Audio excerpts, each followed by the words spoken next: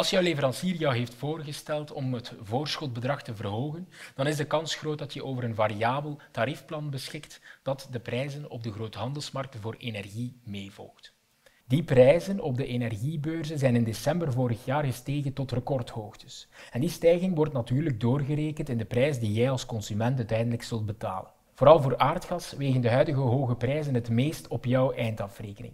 Bijna de helft van het gasverbruik van een gemiddeld gezin vindt immers plaats tussen begin januari en eind maart.